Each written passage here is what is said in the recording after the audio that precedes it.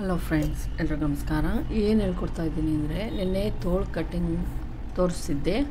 ಆದರೆ ಯಾವ ಥರ ಮಾರ್ಕ್ ಮಾಡೋದು ಅಂತ ತೋರಿಸಿದ್ದೆ. ಅವ್ರೇನು ಬಂದರು ಪೇಪರಲ್ಲಿ ಕಟ್ಟಿಂಗ್ ಮಾಡಿ ತೋರಿಸಿ, ಸ್ವಲ್ಪ ಗೊತ್ತಾಗ್ತಿಲ್ಲ ಅಂತ ಅಂದಿದ್ದರಿಂದ ನಾನು ಅದೇ ಹೇಳಿದ್ದೀನಿ. ನಿಮ್ಗೇನು ಗೊತ್ತಾಗಲ್ವೋ ಅದನ್ನು ಕಮೆಂಟ್ ಬಾಕ್ಸಲ್ಲಿ ಹಾಕ್ರಿ. ನಾನು ಅದನ್ನು ನಿಮ್ಗೆ ಹೇಳ್ಕೊಟ್ಬಿಟ್ಟೆ ಮುಂದೆ ಹೋಗ್ತೀನಿ ಅಂತ ಹೇಳಿರೋದ್ರಿಂದ ಇವತ್ತು ಪೇಪರ್ ಕಟ್ಟಿಂಗನ್ನು ಮಾಡೋದು ತೋರಿಸ್ತಾ ಇದ್ದೀನಿ. ತೋಳ್ದು, ನಾನೇನು ಉದ್ದ ತೋಳು ತೋರಿಸಿದ್ನೋ ಅದನ್ನು ತೋರಿಸ್ತಾ ಇದ್ದೀನಿ. ನೀವು ಏನು ಉದ್ದ ತೊಳಗೆ ನಾವೆಷ್ಟು ಎಷ್ಟು ಹತ್ತು ಇಂಚು, ಇದು ಎಡ್ಜ್ ಅಂತ ಇಟ್ಕೊಳ್ಳಿ, ಬ್ಲೌಸ್ ಎಡ್ಜ್ ಅಂತ ಇಟ್ಕೊಳ್ಳೋಣ ನಾವು. ಇಲ್ಲಿ ಏನು ಮಾಡಬೇಕು ನಾನು ಇಲ್ಲಿ ಕರೆಕ್ಟಾಗಿ ತೆಗೆದುಕೊಂಡಿದ್ದೀನಿ. ಹತ್ತು ಇಂಚು ಪ್ಲಸ್ ಒಂದು ಇಂಚ್ ಎಕ್ಸ್ಟ್ರಾವನ್ನು ತೆಗೆದುಕೊಳ್ಳೋಣ. ಯಾಕಂದರೆ ಮಾರ್ಜಿನ್ಗೋಸ್ಕರ ಮಾರ್ಜಿನ್ಗೋಸ್ಕರ ಎಕ್ಸ್ಟ್ರಾ ತೆಗೆದುಕೊತೀನಿ. ನಾನಿಲ್ಲಿ ಕರೆಕ್ಟಾಗಿ ಹತ್ತು ಇಂಚ್ಗೆ ತೆಗೆದುಕೊತಾ ಇದ್ದೀನಿ. ಗೊತ್ತಾಗಲಿಲ್ಲ ಕಾರಣಕ್ಕಷ್ಟೇನೆ ಇದು ಕರೆಕ್ಟು ಈಗ ತೋಳಿನ ಉದ್ದ ನಮ್ದು ಏನು ಕರೆಕ್ಟಾಗಿ ಹತ್ತು ಇಂಚ್ ಬರುತ್ತೋ ಅಷ್ಟಕ್ಕೆ ನಾನು ಮಾಡ್ತಾಯಿದ್ದೀನಿ ಹತ್ತು ಇಂಚಿಗೆ ತೋರಿಸ್ತಾ ಇದ್ದೀನಿ ಫ್ರೆಂಡ್ಸ್ ಇದು ನೀವು ಕನ್ಫ್ಯೂಸ್ ಮಾಡ್ಕೊಂಬೇಡಿ. ಹತ್ತು ಇಂಚಿಗೆ ಪ್ಲಸ್ ಒಂದು ಇಂಚು ಮಾರ್ಜಿನ್ಗೋಸ್ಕರ ಇಟ್ಕೊಂಡಿದ್ದೀನಿ. ಈ ಎಡ್ಜು ನಾವಿಲ್ಲಿ ಎರಡು ಫೋಲ್ಡನ್ನು ತೆಗೆದುಕೊಂಡಿದ್ದೀನಿ. ನಿಮಗೆ ಗೊತ್ತಾಗಲಿ ಫ್ರಂಟು ಬ್ಯಾಕು ಕಟ್ ಮಾಡೋದ್ರಿಂದ ಎರಡು ಫೋಲ್ಡನ್ನು ತೆಗೆದುಕೊಂಡಿದ್ದೀನಿ. ಈಗ ಸರಿ ಆಯಿತು. ನಾವು ಉದ್ದ ತೋಳು ತೆಗೆದುಕೊಬೇಕಾದ್ರೆ ಇದು ಮಾರ್ಜಿನ್ದು ನಾವು ಮಾರ್ಕನ್ನು ಹಾಕ್ಬಿಡೋಣ. ಇದು ಮಾರ್ಜಿನ್ನು. ಒಂದು ಇಂಚ್ ಯಾಕಪ್ಪ ಮಾರ್ಜಿನ್ನು ಅಂತ ನೀವು ಅಂದ್ಕೊಂಡಿರ್ತೀರಲ್ಲ ಮಾರ್ಜಿನ್ಗೆ ಇಲ್ಲೂ ಹೋಗುತ್ತೆ ಇಲ್ಲೂ ಹೋಗುತ್ತೆ. ಸ್ಟಿಚ್ ಹಾಕ್ಬೇಕಾದ್ರೆ ಇಲ್ಲೂ ಹೋಗೋದ್ರಿಂದ ಇಲ್ಲೂ ಹೋಗೋದ್ರಿಂದ ನಾನು ಕೆಳಗಡೆನೆ ತೋರಿಸಿದ್ದೀನಿ. ಮೇಲೆ ಯಾವುದೇ ತೋರಿಸ್ತಾ ಇಲ್ಲ, ಮಾರ್ಕ್ ಹಾಕಿ ತೋರಿಸ್ತಾ ಇಲ್ಲ. ಕೆಳಗಡೆ ಮಾತ್ರ ಮಾರ್ಕ್ ಹಾಕಿದ್ದೀನಿ. ಎರಡರದ್ದು ಸೇರಿಸಿ. ಈಗ ಆಯಿತು. ಈಗ ಇಷ್ಟು ತೋಳು ಉದ್ದ. ತೆಗೆದುಕೊಂಡು ಯಾರೋ ಕಮೆಂಟ್ ಮಾಡಿದರು, ತೋಳು ಉದ್ದ ಕೊಟ್ಟಿದ್ದೀನಿ. ಶೋಲ್ಡರ್ ಡ್ರಾಪ್ ಆಗ್ತಾಯಿದೆ ಕಂಕ್ಳು ಕರೆಕ್ಟಾಗಿ ಕೋರ್ತಿಲ್ಲ ಅಂತ ಕೇಳಿದ್ರ? ಶೋಲ್ಡರ್ ನಾವು ಉದ್ದ ತೆಗೆದುಕೊಂಡಾಗ ಏನು ಈ ಸ್ಲೀವ್ ಇರುತ್ತೋ, ಸಾರಿ, ಸ್ಲೀವ್ ಸ್ಲೀವ್ ಉದ್ದ ತೆಗೆದುಕೊಂಡಾಗ ನಾವೇನು ಮಾಡಬೇಕು ಅಂದರೆ ಮೇಲಿನಿಂದ ಕೆಳಕ್ಕೆ ಒಂಬತ್ತು ಒಂಬತ್ತುವರೆ ಆದಾಗ ಮೂರು ಕಾಲನ್ನು ತೆಗೆದುಕೊಳ್ಳಿ. ಮೂರುವರೆ ತೆಗೆದುಕೊಂಡ್ರು ಏನು ವ್ಯತ್ಯಾಸ ಇಲ್ಲ. ಒಂಬತ್ತುವರೆ ತೆಗೆದುಕೊಂಡ್ರು ಮೂರು, ಮೂರುವರೆ ತೆಗೆದುಕೊಂಡ್ರೆ ಅದು ನಿಮ್ಮ ಮೇಲೆ ಡಿಪೆಂಡು. ಕರೆಕ್ಟಾಗಿ ಫಿನಿಷಿಂಗೇ ಬರುತ್ತೆ. ನೋಡಿ, ಮೂರುವರೆಗೆ. ಕರೆಕ್ಟಾಗಿ ನಾನು ಸ್ಟಾರ್ಟಿಂಗಿಂದ ಮೂರುವರೆಗೆ ಹಾಕ್ತಾ ಇದ್ದೀನಿ. ಇಲ್ಲಿ ಮಾರ್ಜಿನ್ಗೂ ಆಫ್ ಇಂಚ್ ಹೋಗಿರುತ್ತೆ ಫ್ರೆಂಡ್ಸ್ ಅದನ್ನು ಅರ್ಥ ಮಾಡ್ಕೊಳ್ಳಿ. ಮೇಲ್ಗಡೆ ಮಾ, ಇಲ್ಲಿ ಕೆಳಗಡೆಗೆ ಡೌನಿಗೆ ಬರಲ್ವಾ ಅಂತ ನೀವು ಅಂದ್ಕೊಬೋದು ಇಲ್ಲಿ ಹಾಫ್ ಇಂಚು ನಮ್ಮದು ಇಲ್ಲಿಗೆ ನಾವು ಕಟ್ ಮಾಡಿದ್ರೆ ಸ್ಟಿಚಿಂಗ್ ಇಲ್ಲಿಗೆ ಬರುತ್ತೆ ಓಕೆ ನಾವು ಇಲ್ಲಿಗೆ ಬಟ್ಟೆ ಇದ್ದಾಗ ಸ್ಟಿಚಿಂಗ್ ಇಲ್ಲಿಗೆ ಬರುತ್ತೆ. ಆ, ಇಲ್ಲಿಗೆ ಸ್ಟಿಚಿಂಗ್ ಬಂದಿರುತ್ತಲ್ವಾ? ಇಲ್ಲಿಗೂ ಸ್ಟಿಚಿಂಗ್ ಬರುತ್ತಲ್ವ? ಎರಡನ್ನೂ ತೋರಿಸ್ತೀನಿ ನಿಮಗೆ ಎಷ್ಟಕ್ಕೆ ಬರುತ್ತೆ ಅಂತ ಕರೆಕ್ಟಾಗಿ ಮೂರುವರೆಗೆ ಬರುತ್ತೆ. ಆದ್ದರಿಂದ ಕರೆಕ್ಟಾಗಿ ಮೂರುವರೆಗೆ ಇಟ್ಕೊಳ್ಳಿ. ಈಗ ಮೂರುವರೆಗೆ ಏನು ನಾನು ಇದು ಮಾಡಿದ್ದೀನೋ ಅದನ್ನು ಕರೆಕ್ಟಾಗಿ ನಾನು ನಿಮಗೆ ಮಾರ್ಕನ್ನು ಮಾಡ್ತೀನಿ. ನೋಡಿ, ಮೂರುವರೆಗೆ ಮಾರ್ಕನ್ನು ಮಾಡ್ತೀನಿ. ಈಗ ನಮ್ಮದು ಓಕೆ ಕಂಕ್ಳು ಬಂದು ಸೆವೆನ್ ಇಂಚಸ್ ಅಂತ ಅಂದ್ಕೊಂಡ್ರೆ ನೀವು ಅದಕ್ಕೆ ನಾವು ಹಾಫ್ ಇಂಚ್ ಅಥವಾ ಮುಕ್ಕಾಲು ಇಂಚ್ ಕಡಿಮೆನೇ ಇಟ್ಬೇಕಾಗುತ್ತೆ ಫ್ರೆಂಡ್ಸ್ ಯಾಕಂದರೆ ಕಂಕ್ಳು ನಾವು ಹಿಂಗೆ ಅಳತೆ ಮಾಡಿರ್ತೀವಿ. ಹಿಂಗೆ ಅಳತೆ ಮಾಡಿದಾಗ ಕಡಿಮೆ ಇಟ್ಕೊಬೇಕು. ಇಲ್ಲಿಂದ ನೋಡಿ, ಈಗ ಆರು ಆರಕ್ಕೆ ನಾನು ಮಾರ್ಕ್ ಮಾಡಿದ್ದೀನಿ ಅಂತ ತಿಳ್ಕೊಳ್ಳಿ. ನಿಮ್ಮದು ಕಂಕಳ ಎಷ್ಟೈತೋ ಅಷ್ಟು ಇಟ್ಕೊಳ್ಳಿ ಫ್ರೆಂಡ್ಸ್ ಬಟ್ಟೆ minimum thirty thirty two thirty three ಅದೇ ಸುತ್ತಳತೆಗೆ ಸೆವೆನ್ ಇಂಚಸ್ಸನ್ನು ತೆಗೆದುಕೊಂಡ್ರೆ ನೀವು ಸಾಕಾಗುತ್ತೆ ಹಿಂಗೆ ಹಿಂಗೆ ಬಟ್ಟೆಯನ್ನು.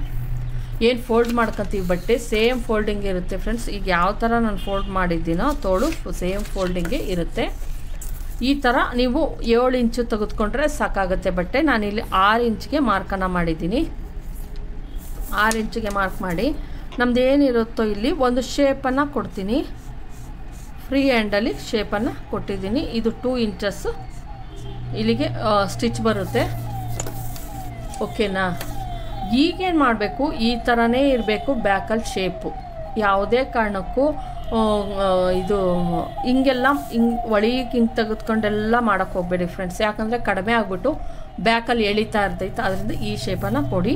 ಈಗ ಇವೆರಡರ ಮಧ್ಯೆ ಏನು ಮಾಡಬೇಕು? ಹಿಂಗೆ ಇಲ್ಲಿ ತೋರಿಸ್ತೀನಿ ನಾನು. ಇಲ್ಲಿಗೆ ಸೆವೆನ್ ಇಂಚಸ್ ಸೆವೆನ್ ಇಂಚಸ್ ಬರ್ತೈತೆ ನೋಡಿ. ಒಂದು ಇಂಚು ಜಾಸ್ತಿ ಬರ್ತೈತೆ ನೋಡಿ ಕರೆಕ್ಟಾಗಿ ನಾನು ತೋರಿಸಿದ್ದೀನಿ ನಾವು ಎಲ್ಲಿಗೆ ಮಾರ್ಕ್ ಮಾಡಿದ್ವೋ ಸೆವೆನ್ ಇಂಚಸ್ ಬರ್ತೈತೆ ಸೆವೆನ್ ಇಂಚಸ್ ಬರೋದ್ರಿಂದ ನಾವೇನು ಮಾಡಬೇಕು? ಈ ಮೂರೂವರೆ ಇಂಚಸ್ಗೆ ನಾವು ಒಂದು ಮಾರ್ಕನ್ನು ಮಾಡ್ತೀನಿ. ಈ ಮಧ್ಯಕ್ಕೆ ಮಾರ್ಕನ್ನು ಮಾಡಿಬಿಟ್ಟು ನಾವೇನು ಈ ಮಾರ್ಕ್ ಮಾಡಿರ್ತೀವೋ ಅಕಸ್ಮಾತ್ ಇನ್ನೊಂದು ಸ್ವಲ್ಪ ಜಾಸ್ತಿ ಆಗತ್ತೆ ಅನ್ನಂಗಿದ್ರೆ ಬೇಕಾದರೆ ನೀವು ಇಷ್ಟಕ್ಕೆ ಬೇಕಾದರೂ ಮಾಡ್ಕೊಬೋದು. ಸ್ವಲ್ಪ ದಪ್ಪ ಇರೋರ್ಗಾದರೆ ಈ ಥರ ತೆಗೆದುಕೊಳ್ಳಿ.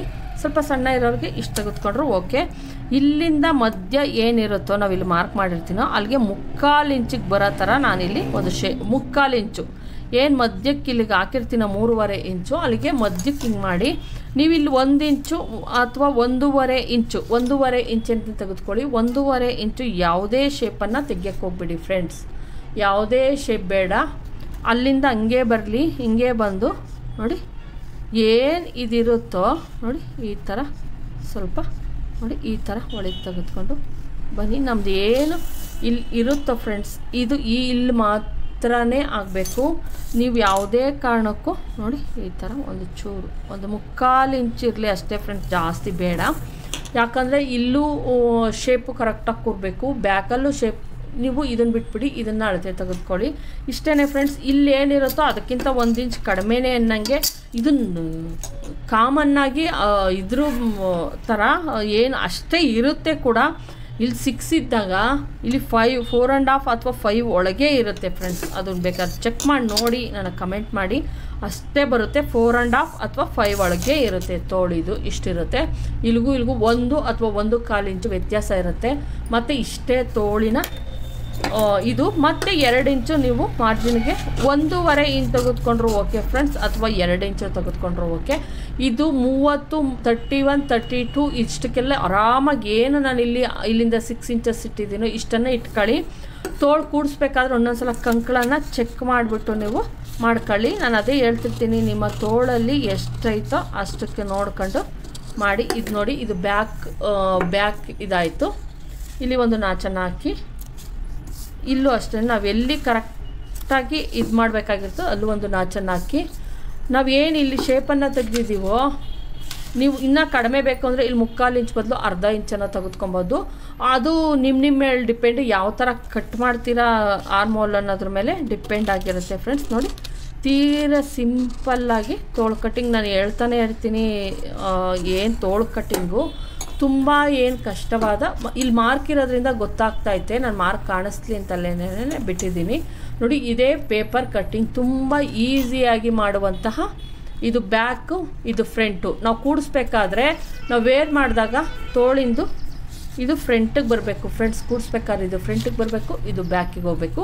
ನಾವು ತೋಳು ಉದ್ದ ತೋಳು ತೆಗೆದುಕೊಂಡಾಗ ಈ ಥರ ಕಟ್ ಮಾಡಿದಾಗ ಮಾತ್ರನೇ ನೀವು ಕರೆಕ್ಟಾಗಿರಲಿ ನಿಮ್ಗೆ ಅಕಸ್ಮಾತ್ ಇಲ್ಲಿ ನೇರಕ್ಕೆ ಅಕಸ್ಮಾತ್ ಉದ್ದ ತೊಳ್ಕೊಡ್ಬೇಕಾದ್ರೆ ಇನ್ನೊಂದು ಫ್ರೆಂಡ್ಸ್ ಅಕಸ್ಮಾತ್ ನಾವು ಇದು ಕೆಲವು ಸಲ ಏನಾಗುತ್ತೆ ಅಂದರೆ, ನೋಡಿ ಈ ಥರ ಬೇಕಾದರೂ ನೀವು ಕೊಡ್, ಕೊಡ್ಬೋದು. ನೋಡಿ ಈ ಥರ ಬೇಕಾದರೂ ಕೊಡಿ. ಕಂಕ್ಳು ಒಂಚೂರು ದಪ್ಪ ಇರುತ್ತೆ. ಆಮೇಲೆ ಬರ್ತಾ ಬರ್ತಾ ಸಣ್ಣಗಾಗುತ್ತೆ. ಇಲ್ಲಿ ಕೆಲವು ಸಲ ಲೂಸ್ ಅನಿಸ್ಬಿಡುತ್ತೆ ನಿಮಗೆ. ಆವಾಗ ಏನು ಮಾಡಬೇಕು? ಒಂದು ಕಾಲು ಇಂಚ್ ಈ ಕಡೆ ಮಾಡಿಬಿಟ್ಟು ಹಿಂಗೆ ಹಿಂಗೆ ಮಾಡಿದಾಗ ತುಂಬ ಫಿಟ್ಟಿಂಗನ್ನು ತುಂಬ ಚೆನ್ನಾಗಿ ಬರುತ್ತೆ. ಒಂದು ಚೂರು ಹಿಂಗೆ ಬಂದು ಹಿಂಗೆ ಮಾಡಿರಿ. ಆವಾಗ ನೀಟ್ ಫಿನಿಶಿಂಗ್ ಅನ್ನೋದು ಬರುತ್ತೆ. ನೋಡಿ ಇಷ್ಟಾದಮೇಲೆ ನೋಡಿ, ಈ ಥರ ಈ ಥರ ಇಲ್ಲೊಂದು ಚೂರು ಒಳಗೆ ತೆಗೆದುಕೊಂಡು ಈ ಥರ ಕೊಡಿ. ತುಂಬ ಚೆನ್ನಾಗಿ ಫಿಟ್ಟಿಂಗ್ ಅನ್ನೋದು ಬರುತ್ತೆ. ಇಷ್ಟೇನೇ ಫ್ರೆಂಡ್ಸ್ ತೋಳು ಕಟ್ಟಿಂಗ್ ಬಟ್ಟೆ ಮೇಲೆ ಸೇಮ್ ಮೆಥಡನ್ನು ಉಪಯೋಗಿಸಿ. ನೀವು ಹತ್ತು ಇಂಚು ಉದ್ದವನ್ನು ತೆಗೆದುಕೊತೀರಾ ಅಂದರೆ ಇದೇ ಮೆಥಡ್ ಇರುತ್ತೆ. ಯಾವುದೇ ಮೆಥಡ್ ಚೇಂಜ್ ಇರಲ್ಲ. ಸೈಜು ಮೇಲಿಂದ ಕೆಳಗೆ ತಗೊಳೋದು ಸೇಮ್ ಇರುತ್ತೆ. ಇಲ್ಲಿಂದ ಇಲ್ಲಿಗೆ ಇಟ್ಕೊಳ್ಳೋದು ನಿಮ್ಮ ಬ್ಲೌಸ್ ಅಳತೆಯನ್ನು ಅವಲಂಬಿಸಿರುತ್ತದೆ. ನೀವು ಎಷ್ಟು ದಪ್ಪ ಇರೋರಿಗೆಲ್ಲ ಇದು ಈ ಇನ್ನೊಂದು ಸ್ವಲ್ಪ ಎಕ್ಸ್ಟ್ರಾ ತೆಗೆದುಕೊಬೇಕಾಗುತ್ತೆ ಇದು. ಅಗಲವನ್ನು ಎಕ್ಸ್ಟ್ರಾ ತೆಗೆದುಕೊಬೇಕು. ಉದ್ದ ಸೇಮ್ ಇರುತ್ತೆ. ಇಲ್ಲಿಂದ ಇಲ್ಲಿಗೆ ತೆಗೆದುಕೊಳ್ಳೋದು ಸೇಮ್ ಇರುತ್ತೆ. ಶೇಪ್ ತೆಗಿಯೋದು ಸೇಮ್ ಇರುತ್ತೆ. ಅಷ್ಟೇ ಫ್ರೆಂಡ್ಸ್ ನೀವು ತುಂಬ ಕೇಳ್ಕೊಂಡಿದ್ರಿಂದ ಪೇಪರ್ ಕಟ್ಟಿಂಗನ್ನು ತೋರಿಸಿ ಅಂತ ಕೇಳಿದ್ರಿಂದ ತೋರಿಸಿನಿ. ಇದು ಹತ್ತು ಇಂಚು ತೋಳಿನ ಉದ್ದ ಹತ್ತು ಇಂಚಿರುವಂತಹ ಪೇಪರ್ ಕಟ್ಟಿಂಗ್ ಈ ವಿಡಿಯೋ ನಿಮ್ಗೆ ಇಷ್ಟ ಆಗಿದ್ರೆ ಲೈಕ್ ಮಾಡಿ ಶೇರ್ ಮಾಡಿ ಸಬ್ಸ್ಕ್ರೈಬ್ ಮಾಡಿ. ದಯವಿಟ್ಟು ಸಬ್ಸ್ಕ್ರೈಬ್ ಮಾಡಿ ಫ್ರೆಂಡ್ಸ್ ಸಬ್ಸ್ಕ್ರೈಬ್ ಮಾಡ್ದಲೇ ನೋಡ್ತಾ ಇದ್ದೀರಾ? ದಯವಿಟ್ಟು ಸಬ್ಸ್ಕ್ರೈಬ್ ಮಾಡಿ. ನನಗೆ ನನಗೆ ಒಂದು ಒಂದು ಇದನ್ನು ಕೊಡಿ, ಅವಕಾಶ ಕೊಡಿ. ನಾನು ಏನಾದರೂ ಮಾಡಬೇಕು ಅಂತ ನಾನು, ಆದಷ್ಟು ನನ್ನ ಎಫರ್ಟ್ ಹಾಕಿ ನಾನು ನಿಮ್ಗೆ ಹೇಳ್ಕೊಡ್ತಾ ಇದ್ದೀನಿ. ದಯವಿಟ್ಟು ಸುಮ್ಮನೆ ನೋಡಬೇಡಿ. ಸಬ್ಸ್ಕ್ರೈಬ್ ಮಾಡಿ ನೋಡಿ. ಅಷ್ಟೇ ನಾನು ಕೇಳ್ತಾ ಇರೋದು. Thank you friends